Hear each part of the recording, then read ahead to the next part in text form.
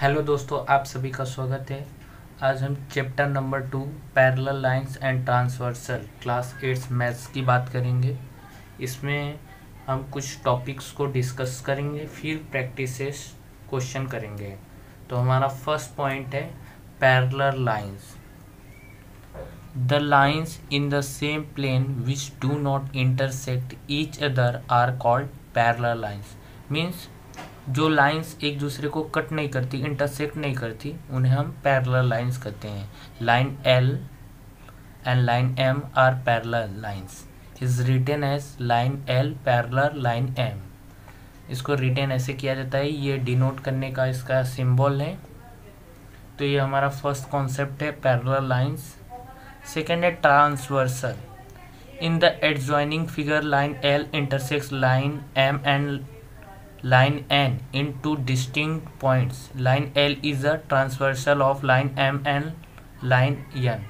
Two lines है, वहाँ पे एक लाइन एल है, जो टू पॉइंट्स पे उनको इंटरसेक्ट कर रहा है यम और यन पे, ए और बी पॉइंट पे एल लाइन इंटरसेक्ट कर रहा है मीन्स कट कर रहा है तो इसे हम ट्रांसवर्सल लाइन कहेंगे if a line intersect given two line in two distinct points then that line is called a transversal of two lines कोई लाइन अगर एनी अदर टू लाइन्स को टू पॉइंट्स पे कट करता है तो उस line को हम ट्रांसवर्सल लाइन बोलेंगे, उन दो लाइन के लिए।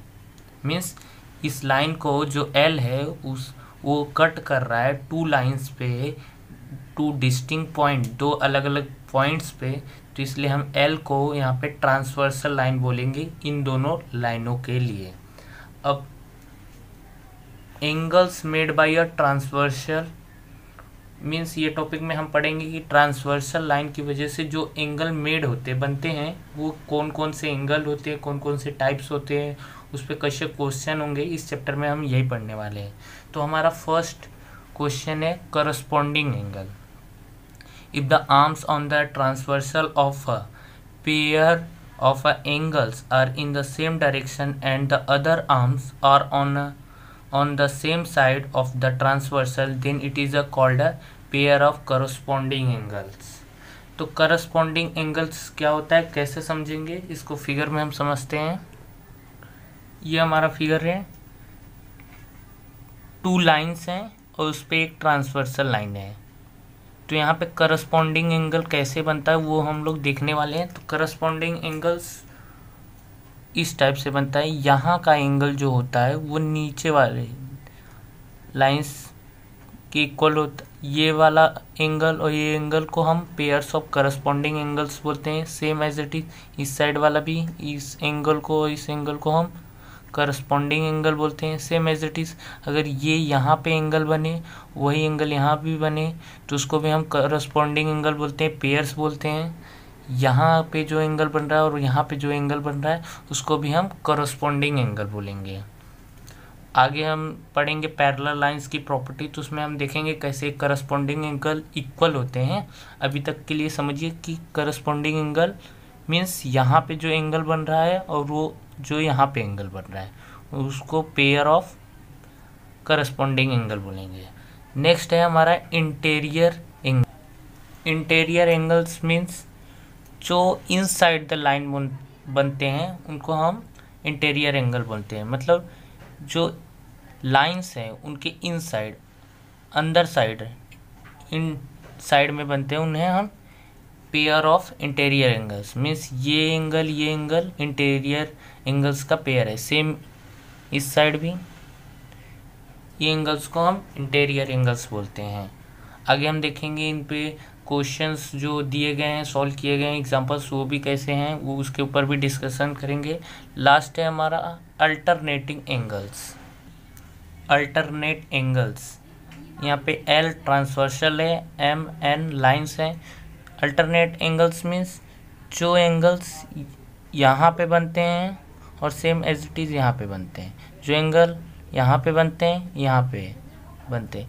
इसको एक्सटेरियर एंगल बोलते हैं। अल्टरनेट एंगल में टू टाइप्स के होते हैं इंटेरियर एक्सटेरियर तो जो आउटर साइड में बनते हैं मीन्स ये वाला इक्वल टू ये वाला और ये वाला एंगल पेयर में है, ये वाला ये वाला एंगल पेयर में है। तो इनको एक्सटीरियर अल्टरनेट एंगल इंटीरियर की बात करें तो ये एंगल ये एंगल का पेयर जो होगा हमारा अल्टरनेट एंगल इंटीरियर होगा. सेम एज इट इज़ यहाँ वाला जो एंगल रहेगा वो वो एंगल और ये एंगल का पेयर जो रहेगा वो अल्टरनेट एंगल का इंटीरियर वाला होगा. तो इसके ऊपर कैसे क्वेश्चंस रहेंगे ये डिस्कस करते हैं हम.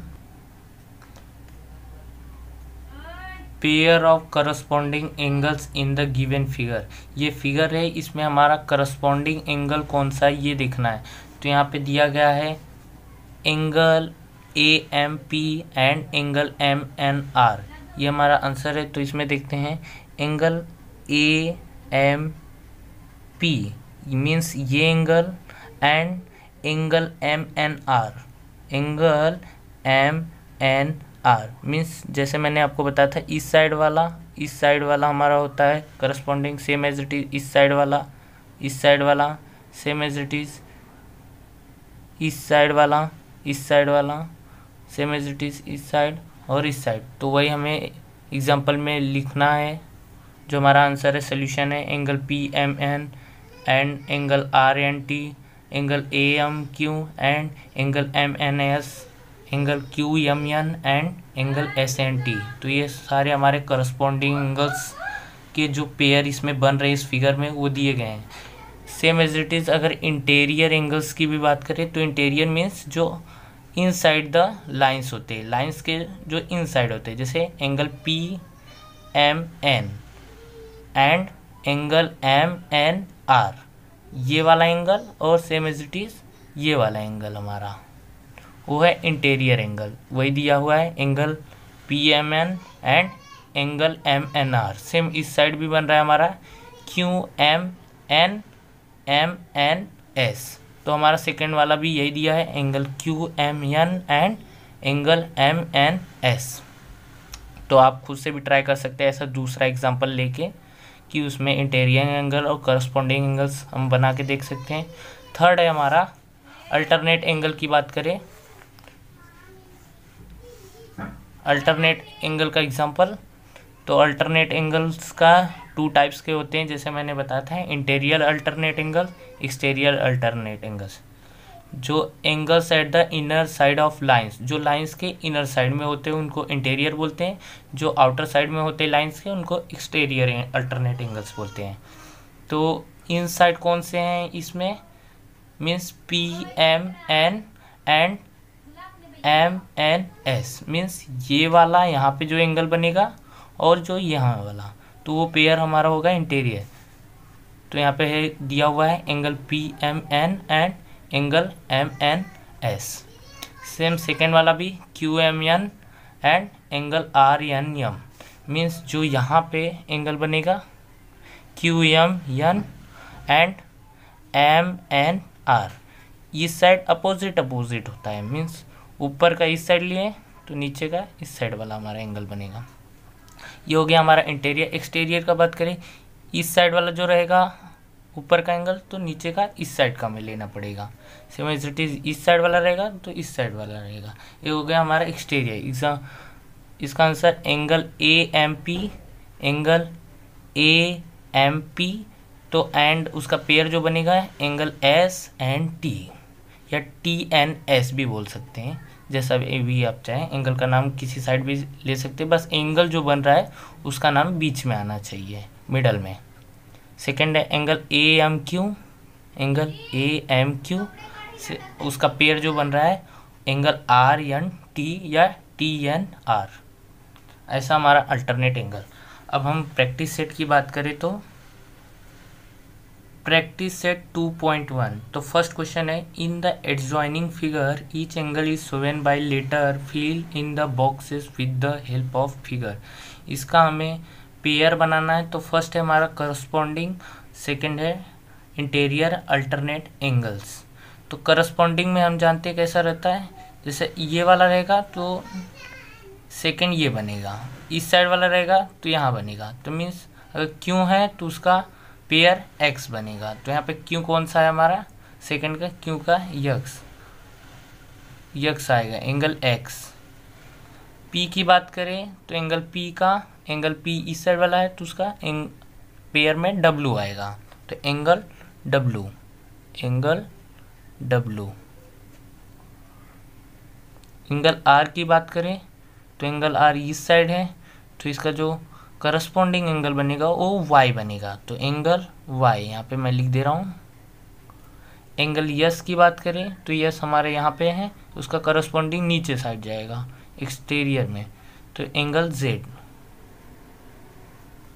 ऐसा हमारा करस्पॉन्डिंग है। इंटीरियर अल्टरनेट एंगल्स की बात है। इंटीरियर मतलब जो इन साइड बनेगा लाइंस के। तो यहाँ पे एंगल यस यस इस साइड है तो उसका जस्ट अपोजिट साइड में यक्स वाला बनेगा। नीचे साइड में। ये इस साइड है तो उसके नीचे साइड में जो रहेगा वो एंगल उसका इंटीरियर अल्टरनेट तो यहाँ पे यस है तो यहाँ पे एंगल एक्स आएगा। सिक्स वाला है एंगल डब्लू ये हमारा डब्लू है तो मीन्स यहाँ पे है तो उसका अपोजिट वाला पेयर बनेगा, इस साइड वाला एंगल आर एंगल आर ये हमारा हो गया first question complete practice set 2.1 का। अब सेकंड क्वेश्चन की बात करें तो हम सेकंड क्वेश्चन है observe the angles shown in the figure and write the following pair of angles ये फिगर को ऑब्ज़र्व करके हमें आंसर देना है, जो हमारे फॉलोइंग पेयर्स बनेंगे डिफरेंट डिफरेंट एंगल्स तो हमारा फ़र्स्ट क्वेश्चन है इंटीरियर अल्टरनेट एंगल्स तो इनके पेयर्स को लिखना है। ये हमारा टू लाइंस है और ये हमारा ट्रांसवर्सल लाइन है। तो यहाँ पे इंटीरियर अल्टरनेट एंगल्स की बात किया है। मीन्स जो इन साइड रहेंगे अल्टरनेट एंगल्स तो यहाँ पे एंगल जो सी बन रहा है, उसका पेयर बनेगा एंगल ई मीन्स अगर इसको रोटेट करके देखें हम लोग तो ये हमारा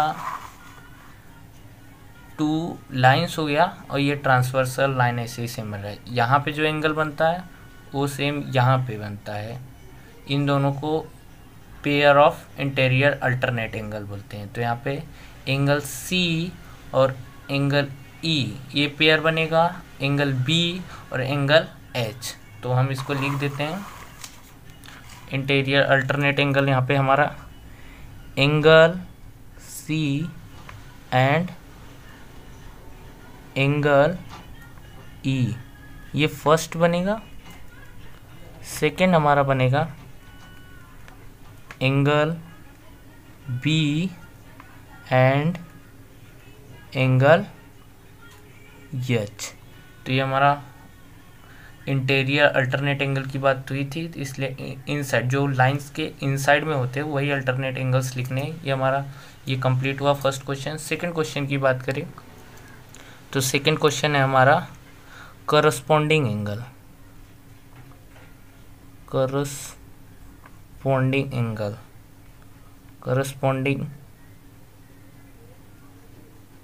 एंगल्स तो यहाँ पे जितने पेयर्स बनेंगे करस्पॉन्डिंग एंगल्स के, वो हमें लिखना है।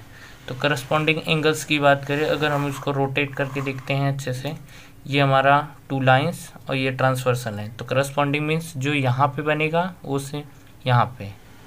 ये दोनों पेयर को हम करस्पॉन्डिंग एंगल जो यहाँ रहेगा एंगल और जो यहाँ एंगल रहेगा, वो पेयर को हम करस्पॉन्डिंग है। सेम एज इट इज़ जो एंगल यहाँ बनेगा, वो ये एंगल और ये एंगल को भी करस्पॉन्डिंग एंगल का पेयर बोलेंगे।